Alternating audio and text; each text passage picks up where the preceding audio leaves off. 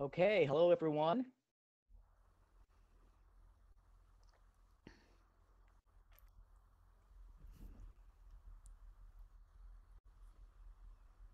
So we're going to allow a few seconds to allow everybody to come in and join us today. Okay, great. Good to see everyone today.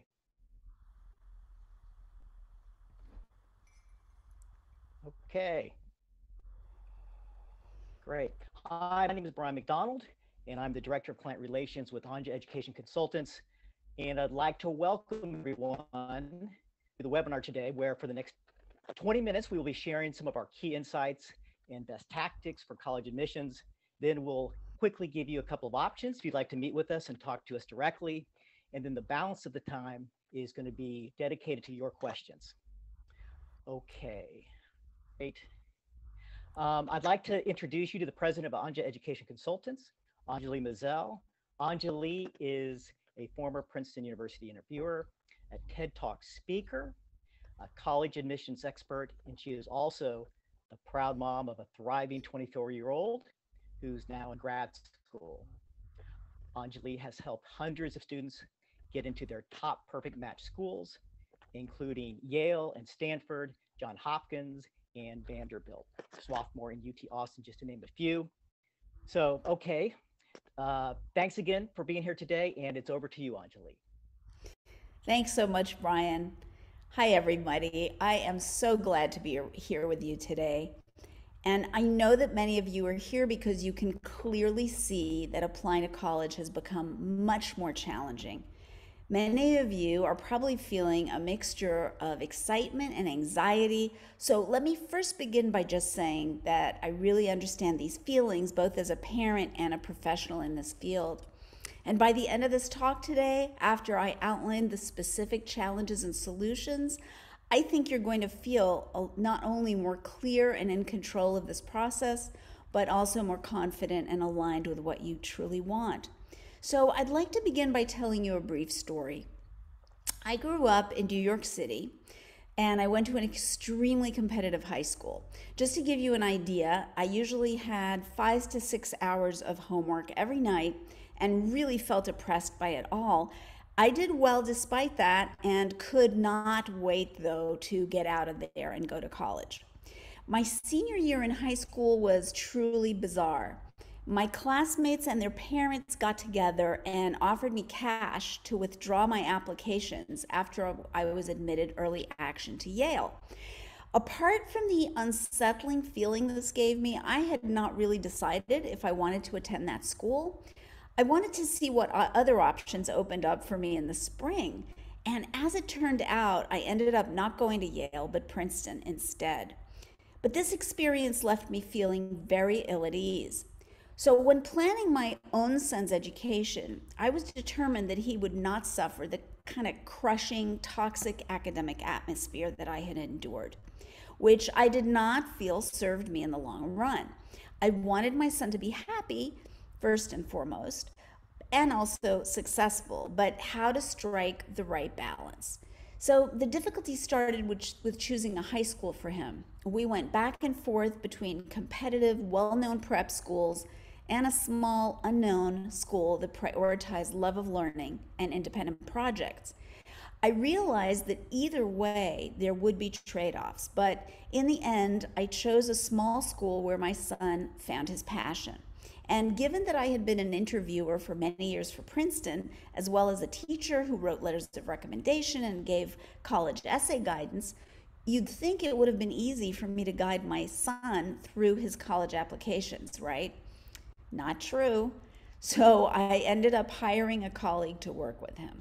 And after many months, at the end of a surprisingly difficult process, he not only got into an Ivy League school, but that is not what he chose. He made what some of you might think was a very unexpected choice, and I will tell you all about it at the end of the webinar. So, what I want you to know is that I have been where you are. Although I knew the system well, when my son applied to college, I had complicated feelings. Like many parents, I was vulnerable to confusion, frustration, and fear. But I did learn something important. I discovered that my son, like all of you here today, was facing a threefold problem when applying to college. Number one, increased competition. Number two, the complexity of the application process. And number three, the rising cost of college. Now, what does this challenge look like in practice? So, first, let's look at the competitiveness of college admissions.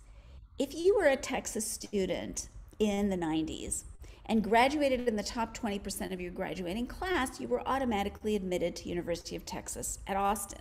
Today, you'll need to graduate in the top 6% of your class. If you were applying to Yale in the 90s, you had an 18% chance of admission. Now it's under 5%.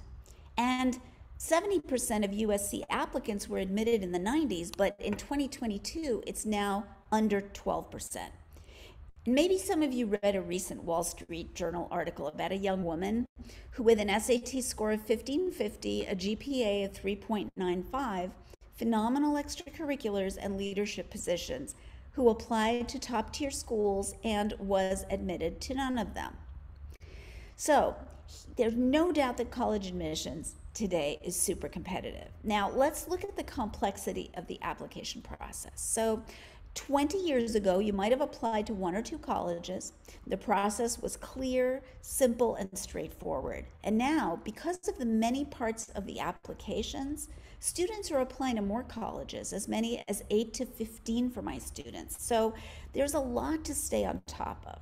Recently, a friend of mine was telling me about the ordeal of helping his son apply to college last fall the numbers of different essays for each college, the completely different online platforms to fill in, SAT prep, coordinating with the school, different deadlines, additional essays for scholarships, recommendations for honors programs, coordinating summer internships, updating transcripts multiple times.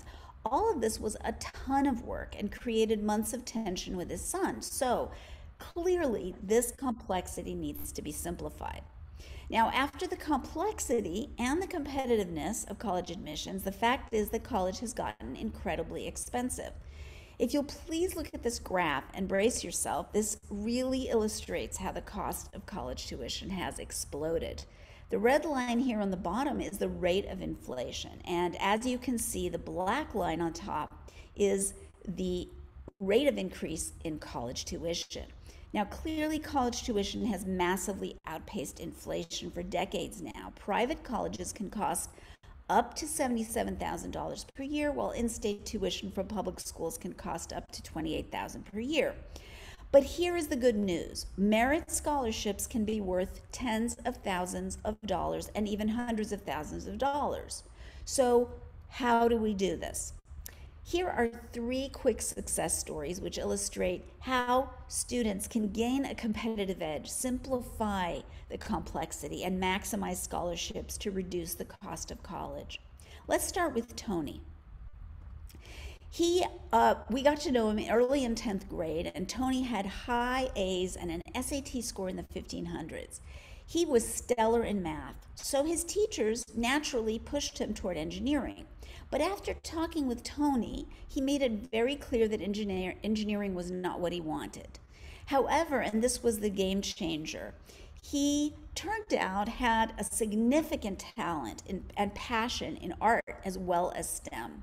So we were able to match him with a local art mentor and a summer program to develop a portfolio, the portfolio that we could then include with his applications. Exploring his interest in visual arts and combining this with his talent in math led Tony to discover a passion for architecture. And this discovery made all the difference because it made Tony really stand out. Why? Because now Tony had a story to tell. And nothing will make you stand out from the crowd than having your own story that demonstrates genuine passion and growth. So, to summarize, um, Tony discovered his passion. Uh, he was able to simplify the application process to get, to get to a clear major and career path he loved, architecture. And Tony secured a $100,000 scholarship to Tulane. Finally, by curating his art portfolio and targeting his essays to align with architecture and his new vision for himself, Tony found a competitive edge. So the result is that Tony was admitted to Rice, his first choice, where he has now finished a successful freshman year. In this way, Tony solved the threefold problem of college admissions. But not all of us are not all of us are straight A students like Tony. Many of us get A's and B's. We might have a down year, get sick, or be in a competitive high school, but we are still ambitious. This was Ellen. Ellen had a B average from a competitive high school, but was confident about thriving in a selective college. We discovered that her GPA had significantly improved over the three years of high school through her hard work. When she got B's, it motivated her to get tutoring and find a college professor to mentor her, and she kept signing up for challenging classes. She also rose to a leadership position in yearbook and got a summer internship in a startup incubator to explore a major in business. But how was she going to pull all these threads together to showcase her accomplishments? Ellen worked to tell her story in a compelling way as a journey of growth and responsibility. She demonstrated through her essays and applications how she learned from setbacks, how these setbacks led her to develop and improve. In fact, they became her assets. So maybe you or your child are like Ellen. You discovered a specific passion halfway through high school. Maybe you began to excel by the end of junior year.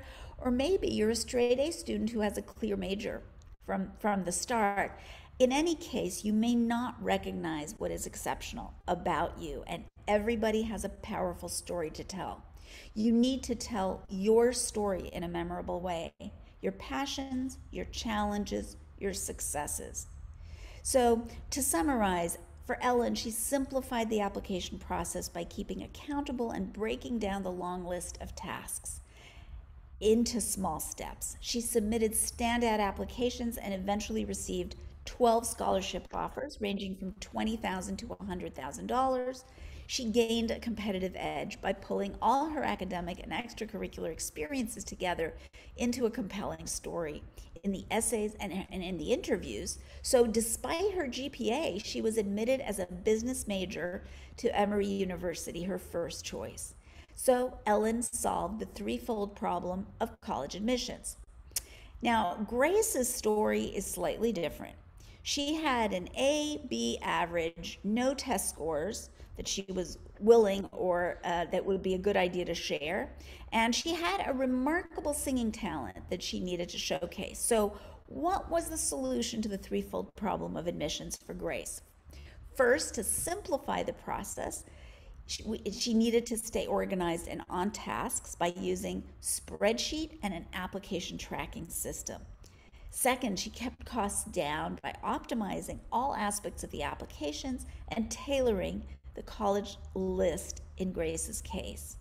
She was awarded scholarships ranging from 80 to $199,000. And third, as Grace was a singer, she gained a competitive edge by curating her vocal submissions and getting admitted into the super selective Grammy summer camp.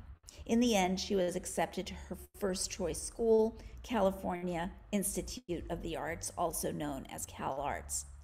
So the three students we discussed, Tony, Ellen, and Grace, were all success stories, but very different one from another. Yet for all these students, they solved the problems of competitiveness, complexity, and cost of college. Through these case studies, we hope you have gotten some valuable tips on what to prioritize in college planning. Now, before we answer your questions, which is going to be the bulk of this webinar, let's first answer the most common one, which is simply how you can work with us. So before we give you the three simple options of working with us, here is our track record. So um, our track record for scholarships for the 2022 application cycle, our students received over 2 million in scholarships and the average total amount of scholarships per student in 2022 was 182,000. So the return on investment of our families was very high and our fees were covered many times over. Now in this same application cycle, our students, students we worked with, were admitted to some of the most selective colleges in the country, including Stanford, Dartmouth, University of Pennsylvania, Johns Hopkins, as well as excellent schools such as UC Riverside, Penn State, Ohio State, Texas A&M. Best of all, they, these were also the right fit for each student. So if you want uh, to, to gain a competitive edge, simply and simplify the application process and keep costs down. Like the hundreds of students we've helped ace college admissions, here are the three simple options. Option one is for 8th to 10th grade students. It's a one year talent development package. And here we have time to identify your kids' talents, discover their passions, make sure they're really on track.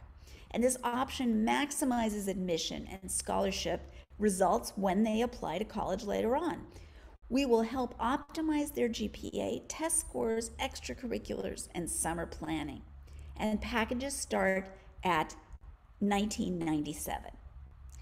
Option number two is our two year packages for 11th and 12th graders.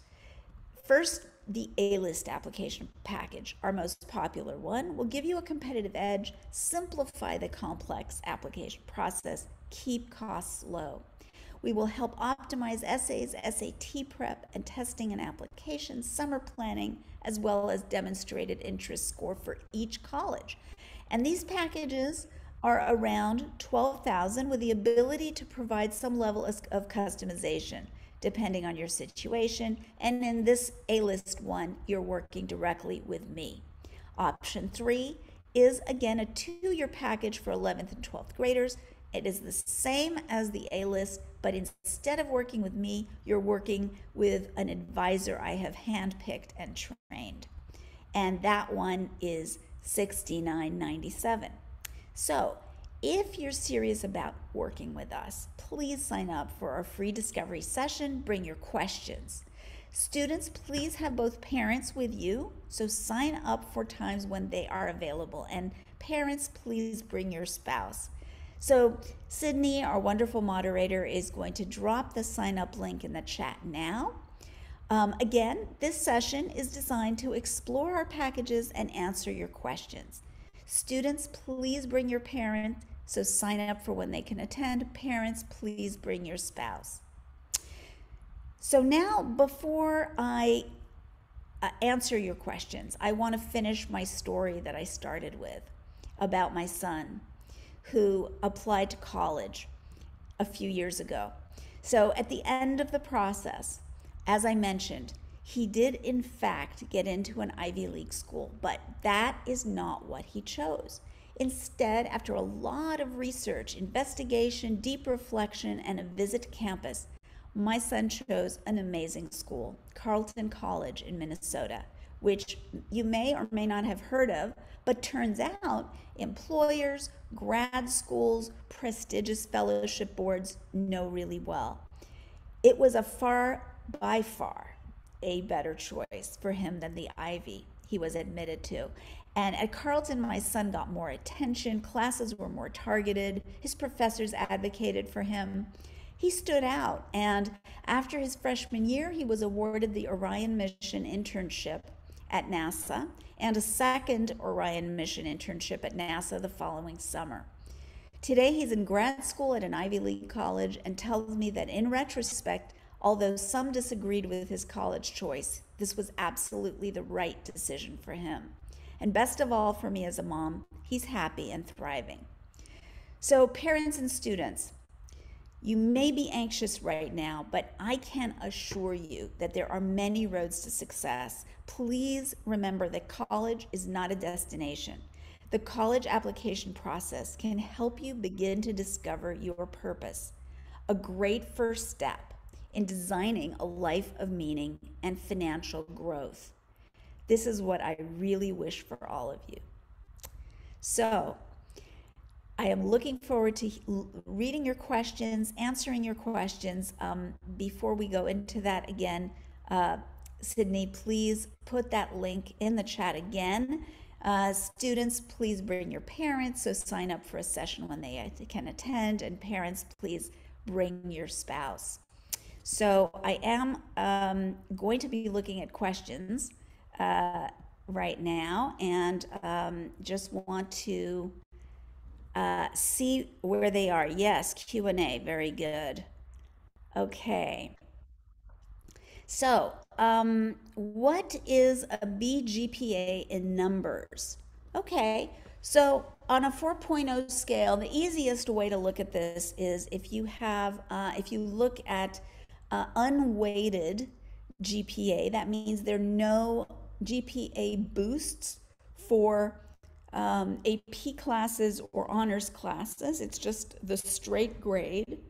Um, that would be uh, a, a B on a 4.0 unweighted scale would be a 3.0, and that would be a B unweighted. So um, these scales, uh, you know, it's helpful if possible to get an unweighted GPA because in, in that way um, colleges can compare one college to the other in a, in a, in a clearer a clearer way. But if you only have a weighted GPA, that's perfectly okay. Um, do you have to submit your SAT to be eligible to apply for merit scholarships? Uh, that's a good question. Some schools still require test scores, but many schools will do a holistic uh, reading of an application, even for scholarships, without SAT scores. It depends on the school, and this is really important. So, if you're applying test optional, be very, very sure um, that the and and if merit uh, scholarships are important to you, be very, very sure that the college is actually offering uh, merit scholarships for um, non uh, for test optional applicants. Um, question This is an interesting question. My son doesn't know what he wants to do. How can you help him? So there are uh, many ways, you know, that that students and parents can begin to to look at path. Right when we work with students, uh, we have an interest and strengths assessment. There are many interest and strengths assessment or personality assessments out there. Uh, you can, you know, they're, they're, they're uh, a wide variety. Some are even free. Um, the one that I use is very robust because not only does it provide insight into which environments, which work environments, which learning environments a student will thrive in, but they give very specific recommendations about careers um, that would be a good fit. Um, but don't make the mistake of thinking that these tests are mathematical equations and that they always get it right. They are a point of departure for self reflection and conversation. Another way is to be sure that students have opportunities. A job in the community is a great way to learn about yourself, to, to develop your strengths, to get a great letter of recommendation.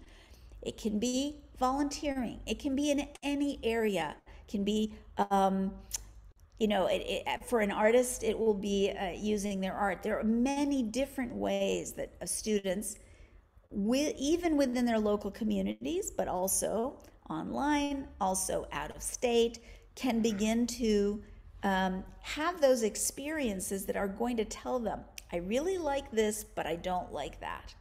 I'm really much better in these kinds of situations than i am in those kinds of situations unless a student is actively involved in the real world, getting that feedback, it's very difficult to just kind of sit in a room and imagine and then pick a major and a career. So I, I recommend that. Um, and then I think your question is, uh, how can you help him? Well, you know, we have that's the talent development uh, approach that we take for all students. Is, is we give them very specific, um, not only assessments but then um, we pair them with mentors we find the right research programs for them you know that kind of thing.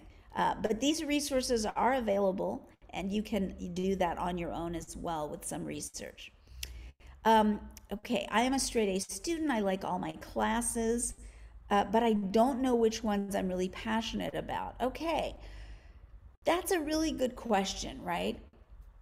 Um, Again, I would have to know this is from Noah. I would like to know, Noah, which grade are you in, right? Because what you're going to do to find a passion in ninth grade versus 12th grade may be very different. You can do some of the same things. Um, you can even plan to spend next summer, if you're in 12th grade, you can, after you graduate from high school, you know, shadowing different um, uh, people in, in different professions to see, you know, you don't have to know what you want to do when you get to college. You can even apply undecided However, when you tell your story, just like I illustrated in those case studies, even if you're undecided, try to know the areas that you're most attracted to now. It doesn't mean that this is the thing that you're going to have to do for the rest of your life. It means that you have started on a process of exploration. You're taking steps to find out. And college is one of those steps, right? You may you know, some students are later bloomers than others and, and will not even discover the kind of their main passion until college. And that's perfectly okay, right? Don't uh, think you have to fit into a box. That's what I said at the end. Many roads to success. Um, but, you know, if there's something that interests you, one of your courses, and you want to take it further, that's one way of exploring, right? There are many free online courses that you can take in a specific subject or summer um, activities. Try to align your extracurricular activities with your academic interests or combine them in a way that is meaningful to you and that helps you tell that compelling story at the end. Okay. Um, how did your son know which college he wanted to go to with a scholarship? Right. So the college list is really important right? It's really important because some colleges are much more likely to um, get you, uh, give you merit scholarships. There is a book by journalist Jeff Selingo, S E L I N G O. You want to learn all about merit scholarships, read the, that book. Now, what he talks about is how you look at data about colleges to learn which ones are the most likely to give you scholarships, that's super important, but it's not the whole story. That's half the story. The other half is how are you going to make yourself most attractive to the colleges to increase uh, chances of admission? Um, so there, those two sides of it, right? and and and if you can learn about those two sides this talk today was about the educational strategies. It's about how you can tell that story in a way that really reaches admissions where they can hear it where they're excited to hear your story where they can clearly see how you're going to contribute to their college community. That's one side of it. The other side is what Jeff is talking about in his book, and um, highly recommend that as well as a, as a resource. Okay, uh, let's see. Um, yes, so the packages that we mentioned. Um, yeah, so so our prices, our prices is are, are you know, parents and families invest in working with us, and then on the other end, you have those savings. Um, $182,000 total. Uh, that was the average for 2022. Average individual scholarship per student was 80,000. So, you know, if you're saving 80,000 and you're paying uh, us 13,000, you can see that that is a worthwhile return on investment. That's how to think about it. Um, lots of sites uh, uh, applying for scholarships. So, you know, there's some good sites like um, fastweb.com, there's um, Scholly, uh, you know, a, a few of those top sites. However, keep in mind that the largest scholarships are going to come directly from the universities. That's why uh, telling your story in a compelling way that I've been talking about through this whole webinar is so incredibly important because when you can uh, present yourself in that way, then uh, you're going to be able to um, enhance your chances of admission and increase your the amount of scholarship that you're going to be offered. It's not a formula. Some schools have more kind of formulaic approach where it's like certain SAT score, certain GPA cutoff. Above that, you get the scholarship. Below that, you don't get, you know.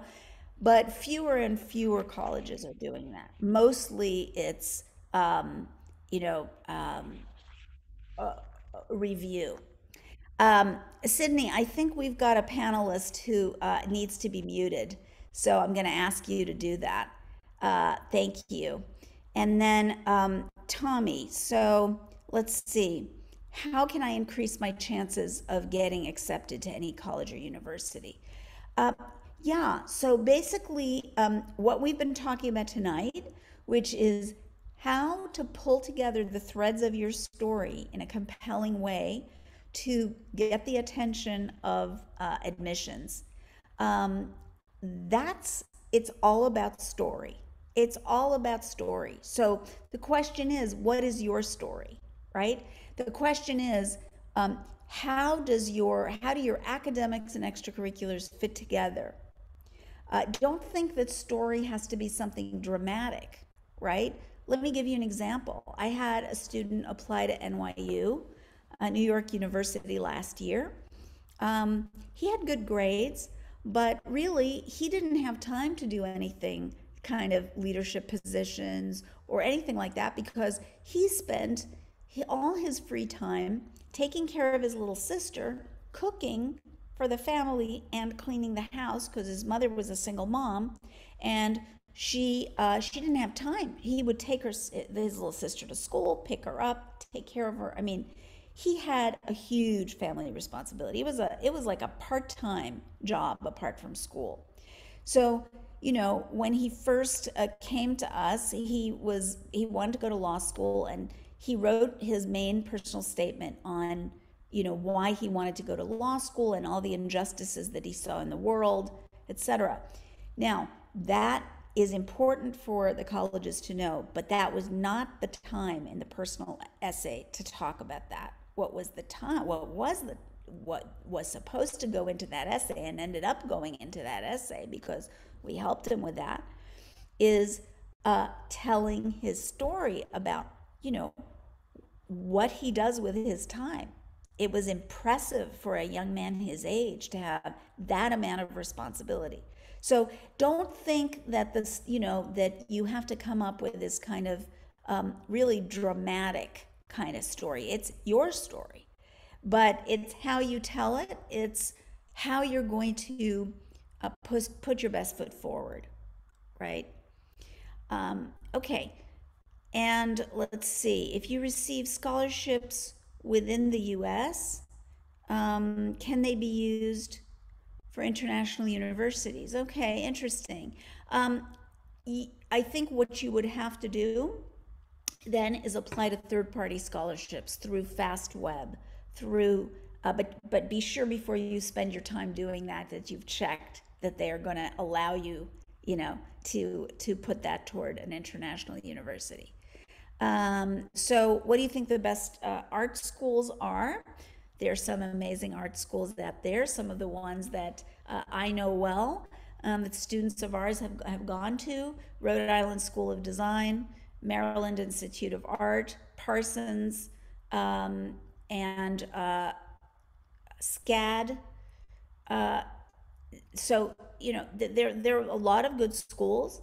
Um, I would look at uh, their um, job placement. How where are their grads working in? That's how I one of the ways I'd I check about them. Not the only way, but one.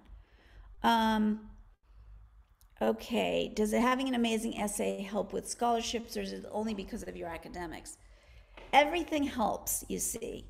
Uh, the most helpful thing is rigor of academics, both for admissions and scholarships, rigor of academics, academic performance, um, sometimes test scores, but a lot of merit scholarships are not given because of that. They're given because of an outside talent. And the talent doesn't have to be artistic. If you have spent, you know, a tremendous amount of time supporting your community or serving in your church or whatever it is that you've done, you know, there are scholarships uh, for that, even within the colleges. Um, so it depends on your college list. Again, the college list is one of the best ways to be sure that you're going to get what you need and that you are targeting schools that are going to be able to give you what you need. Um, okay, what do you recommend for generalists uh, who don't have a clear passion but are thriving and very well overall without a clear edge? Yeah. So, um, there is something a type of student who I call a renaissance renaissance kid. They have many talents, they have many interests. They're not necessarily, you know, don't don't have that standout kind of um, uh, talent that that sets them apart.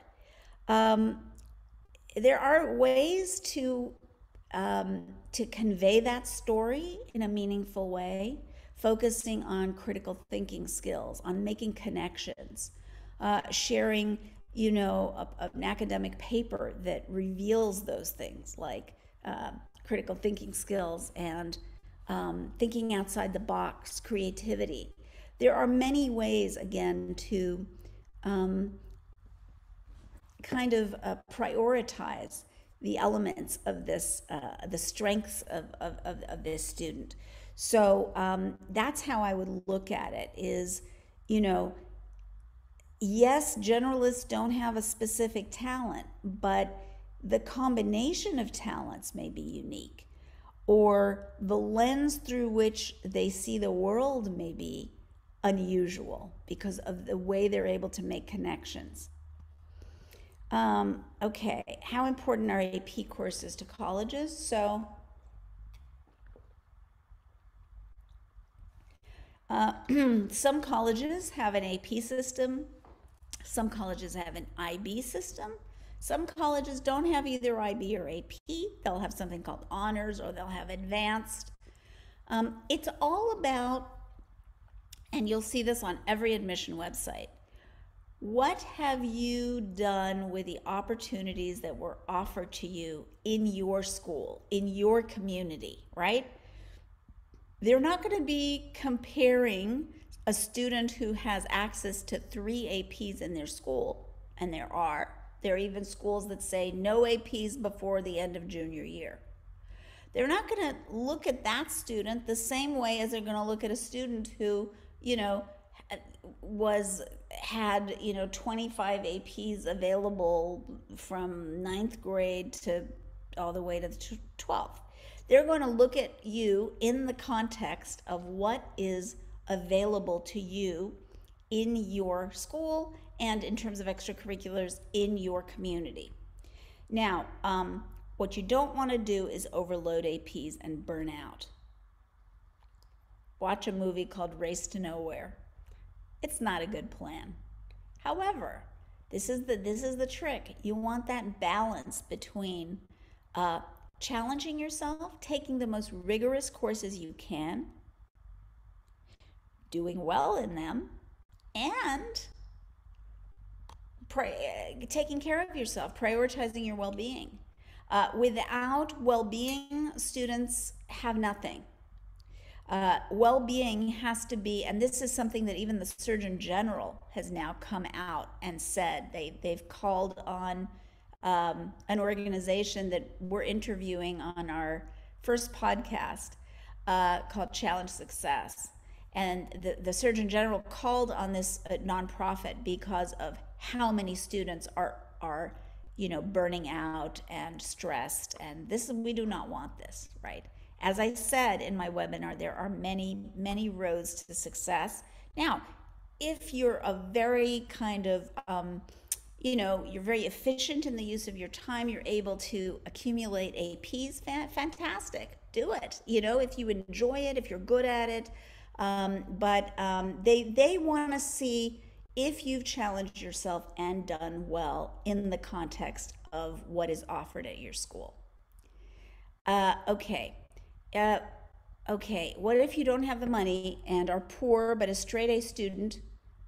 and who did so much but can't do many extracurriculars. That was exactly the story of the young man I told you about. He couldn't do no extracurriculars, none.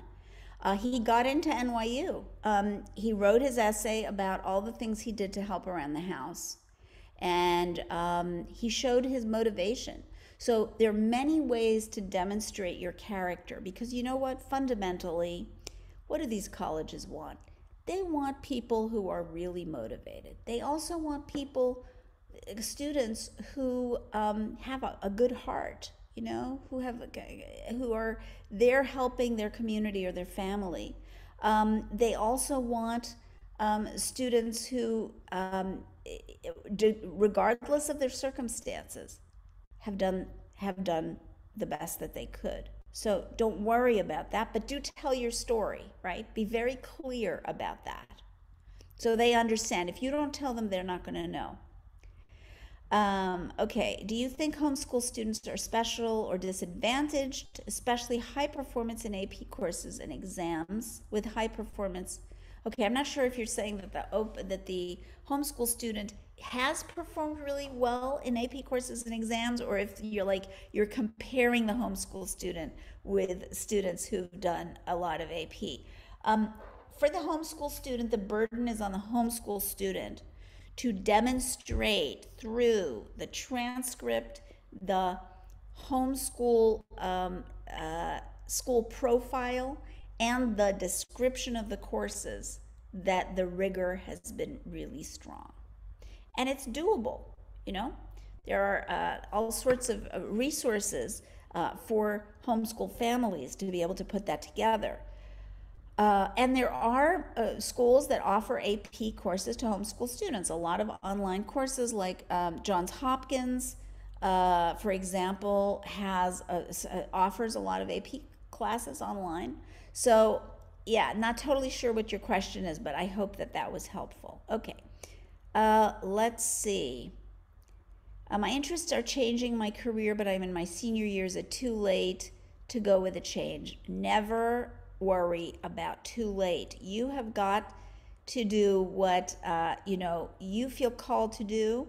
Um, now, that doesn't mean that you may necessarily state that on the application. You may be strategic and show, you know, um, if it's if, it's possible to transfer major easily, you might end up um, applying for a certain major because all your you know academics and your extracurricular support that, and then if it's possible in that school to transfer, that could be a good strategy. But some schools don't allow easy transfers. So in that case, it's just better to just say the thing the way it is. And, you know, to target schools that make sure you have a balanced college list. Likely, three likelies, three targets, and the rest can be reaches, far reaches, likelies, and targets. Now, how do we say which are likely and targets? The easiest way is go by admit rate because uh, the college application process is very, very uh, opaque. It is not transparent. They're not, the colleges have their own agenda. It's really important not to take this whole thing personally. There are a lot of, you know, it's really more about what they're looking for that year. Do they need a clarinetist that year? Do they need more people from Idaho because the previous year too many people they admitted too many people from Iowa? That's in the end, you know, if you compare equally qualified candidates to a school, that's what's going to that's what's going to tip the scales. So when you know that, you know, hey, it's really, especially for the super selective schools, it's really more like a lottery. What you want is to get a ticket to the lottery. How do you get a ticket to the lottery?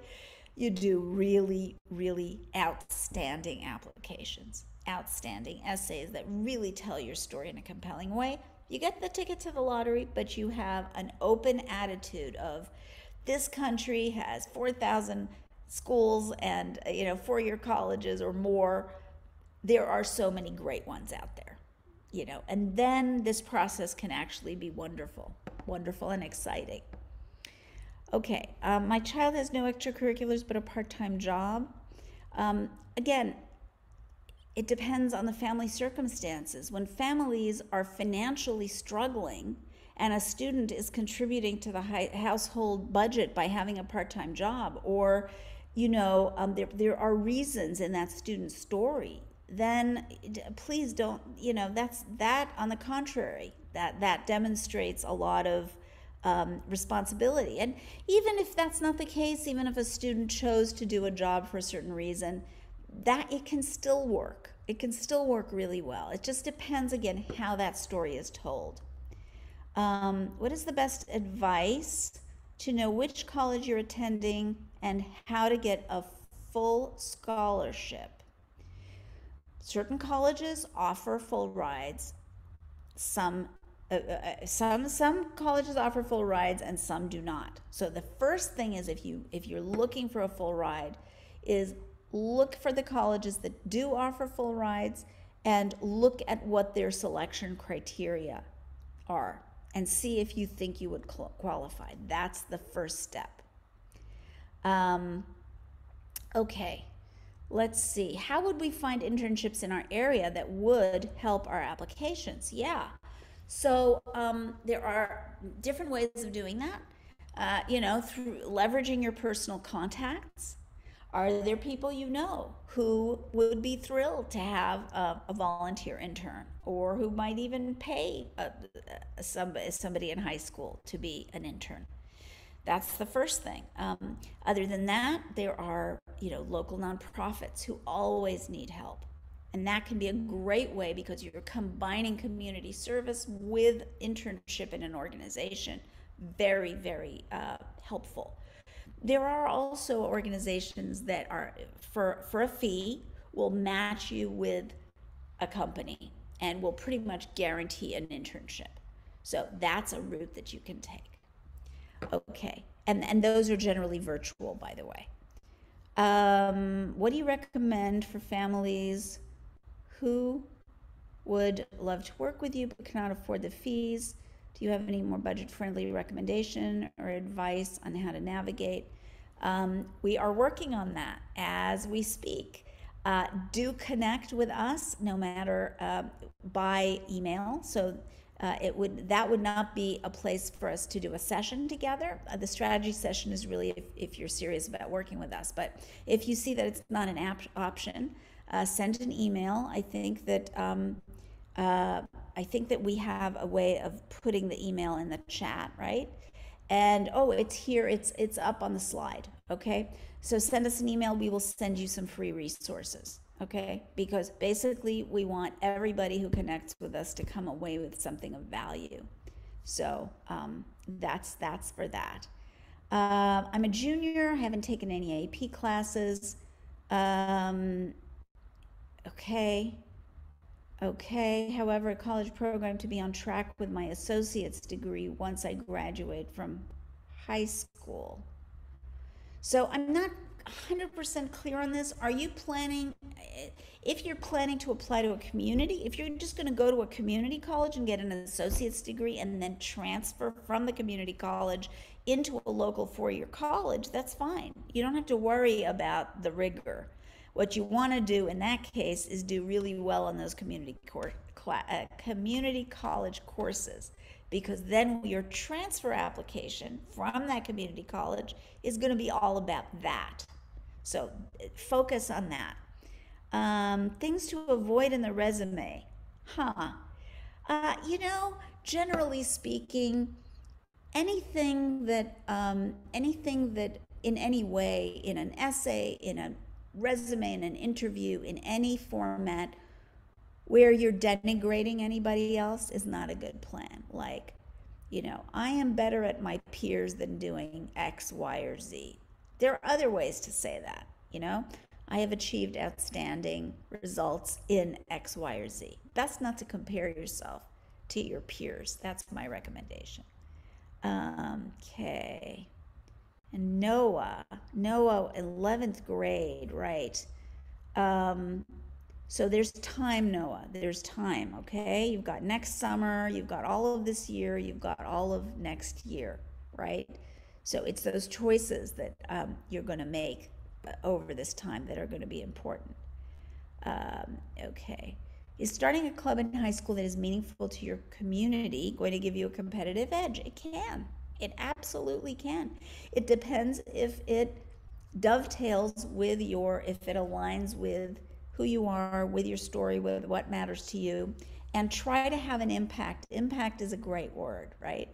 Whatever you do, volunteering, clubs, think about it in terms of impact. What impact can I have in my community? How can I use my talents to benefit the community in a measurable way, right? Impact measurable.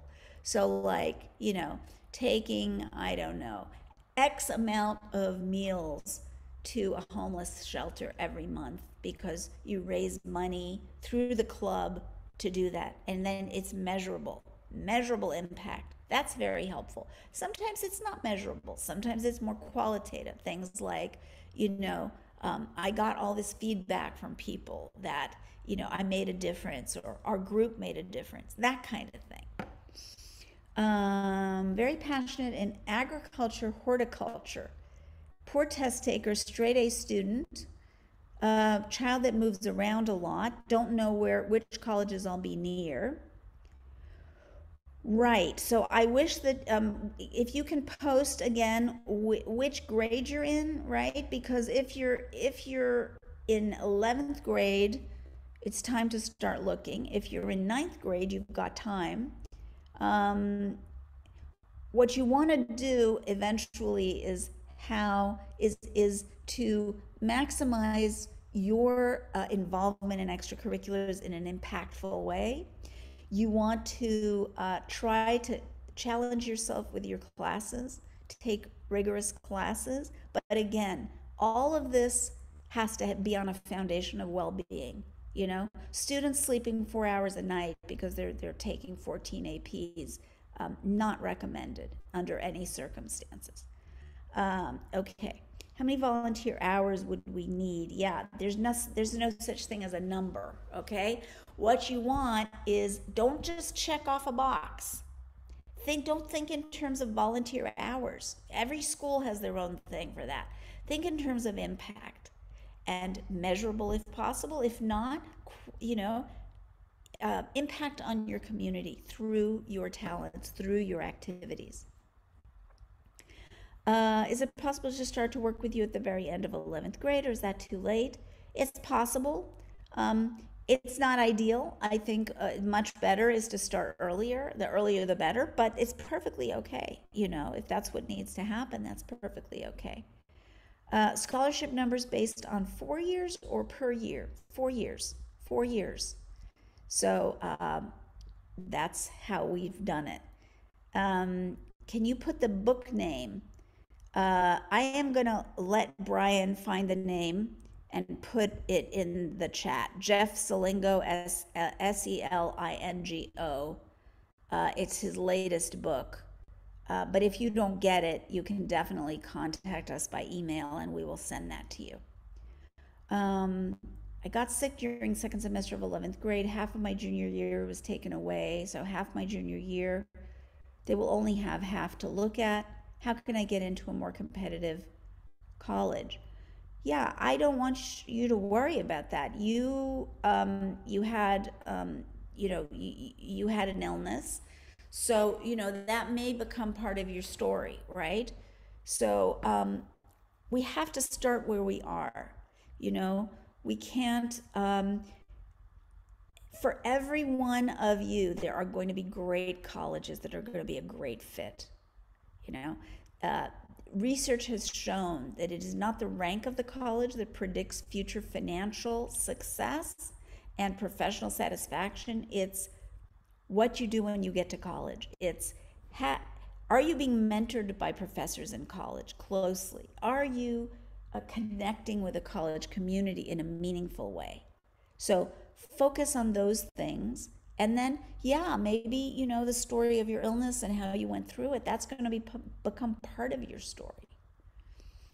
Okay um, how do you guys compare stories that are in the same category or very similar to each other? Um, right.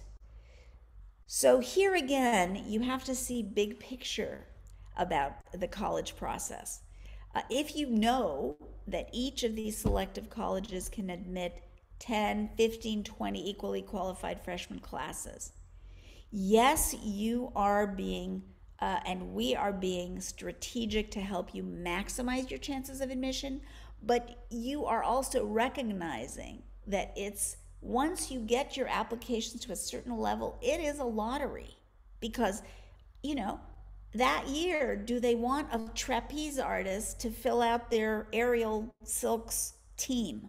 That year, are they looking for an extra, you know, uh, high rated tennis player? And those things are completely out of our control. So, what we do is we maximize the quality of what we send them, and then we open our minds to the variety of amazing colleges that are out there rather than fixating on one or two schools. Okay. Um, I was told there are colleges that offer applica- accommodations. There are. This is not my area of expertise. I recommend you look at therapeutic programs. I believe one of the well known colleges is called Landmark. Look that up, okay? There are um, people who are specialized in helping students find those kinds of colleges. Um, you know, uh, and uh, you can you can look uh, for that because there are there are uh, uh, consultants who are specialized there. Okay. Um, best computer science schools in the Midwest. Top of the list, Carleton College. Fabulous computer science program. I know this because of the story of my son. And I have no affiliation with Carleton, but I know the quality of their faculty. Uh, it's very tough to get into. It is a reach school.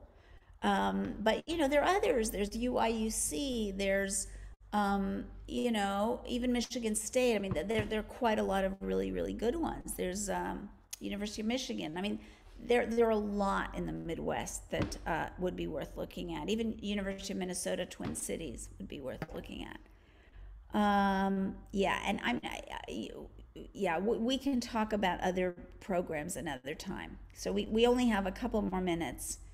Um, let's see.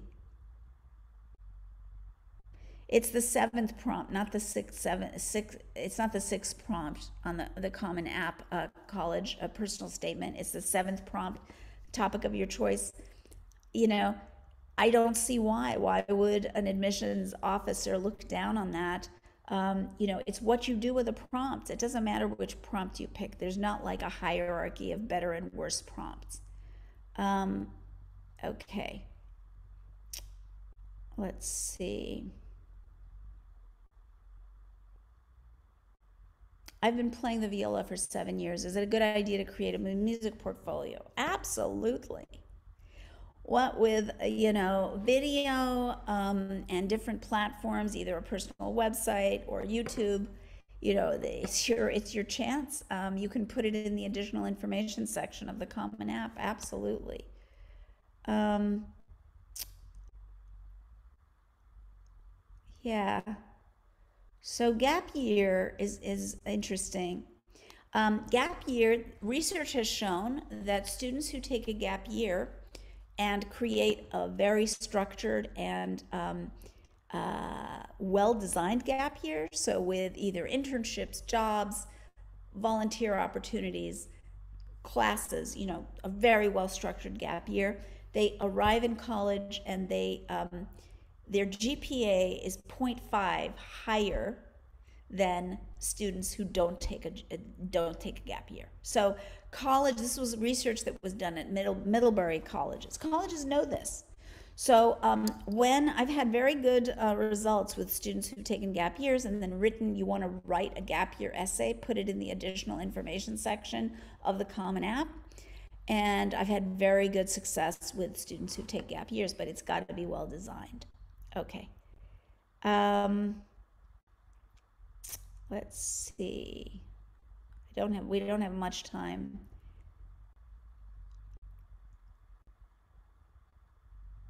The best thing to look for in a good college. Yes, I see several questions about this. So, the most important thing is going to be fit. It's how do you fit with a college? How does the college fit with you? What you want to do is have a list of colleges, whether they are likely targets, reaches, far reaches, which are also called lottery schools. Um, you want a list of colleges where you are likely to thrive. So this is, you know, do they have the majors you're interested in? How big are those departments, and are they going to give you the academic variety and um, quality that you're looking for? Uh, what is the student body like? What are their student run organizations like? And what is the campus culture? Where are they located? What is the safety like on campus? Look it up. There are several um, resources. I'm going to give them to you now. There's Fiske Guide, the Fiske Guide, F I S K E, Fiske Guide. Great resource. They have one online, they have one that you can buy uh, as a, a physical book. Um, there is niche.com, which has some great uh, tools. You know, don't take it at face value, but look at those reviews, look at the ratings. Um, you know, each of the rating systems like niche.com, US News, they all have their pros and cons. So take it with a grain of salt, but combine all this information. And then um, go to the college websites, look up their programs, their mission. Do you agree with their school mission? And then um, fourth step, go to uh, go to Campus Reel R E E L Campus Reel R E E L and uh, look at the videos that students have made about their schools. You can also go on YouTube. It's good to see what students are saying about their schools and then see what the fit is. Um, so, Sydney, do we have time or should we wrap it up now? I think I know can what her answer. one last question if you want. Okay. Um, okay.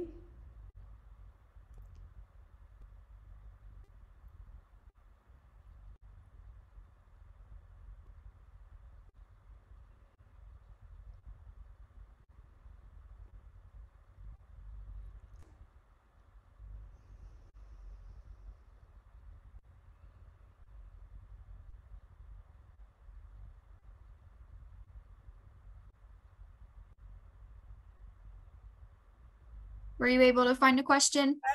Yeah. So, um, how important are awards on my application? If I, what do I do if I have none? So basically, um, you know, if you have awards, that's great. If you have none, you know, don't say I have none. Just leave it blank or, you know, put not available. And, you know, talk about, focus on the positive, focus on what you have done because, you know, everybody has a story to tell. And that's what I want to leave you with. You know, you, you have a story to tell. And uh, if you focus on that rather than what is missing, you know, I think you'll be in a, in a much better position to uh, share with colleges how you can contribute to their college community, what you have done that has prepared you to be a valuable contributor. It can be sim- simple ways, just like that student who cleaned and cooked for his sister and his mom at home. So don't get too worried about these things. Um, there are enough colleges out there for, and good colleges for everybody. So I hope this has been helpful. Uh, if you haven't gotten your questions answered, um, you know, you can always reach out by email. Uh, we hope we, those of you who are interested in working with us, we hope we see you at the at the discovery sessions that you uh, will have booked, and uh, look forward to the next time. Thank you, everyone.